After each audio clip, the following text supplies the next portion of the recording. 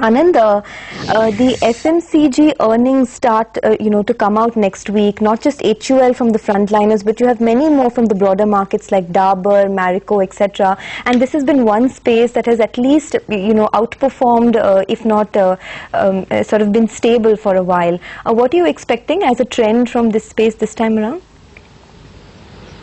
I think we'll get again uh, decent set of numbers, and I think it will remain a place where uh, you know you will need to keep your money invested, not necessarily because it's cheap, but simply because you know they will give you the steady set of growth uh, numbers which the other sectors are unable to give right now.